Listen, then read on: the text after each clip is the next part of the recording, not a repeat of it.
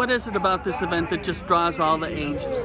I think it's because, like I said, it's put on by locals is, is the is what draws the most people. Like I said, it's something that you do not see at any other fair. It, and it, it couldn't be done if we didn't have the right people helping us do it.